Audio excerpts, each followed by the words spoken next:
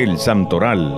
Historia, reflexión y ejemplo de cada santo con el presbítero Juan Duque.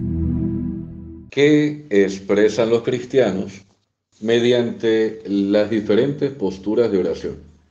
Con el lenguaje del cuerpo los cristianos ponen su vida ante Dios, se postran ante Dios, unen sus manos en oración o las extienden, postura del orante, hacen la genuflexión o se arrodillan ante el Santísimo Sacramento, escuchan el Evangelio de pie, meditan sentados.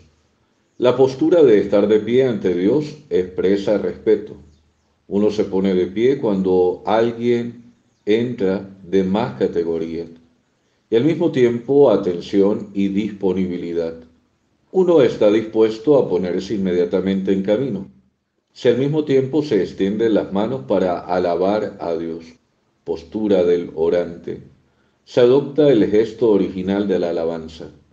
Sentado, ante Dios el cristiano escucha en su interior, deja resonar la palabra en su corazón y la medita. De rodillas, el hombre se hace pequeño ante la grandeza de Dios, reconoce su dependencia de la gracia de Dios y junta las manos. El hombre se recoge frente a la dispersión y se une a Dios. Las manos enlazadas son también el gesto ordinario de la petición.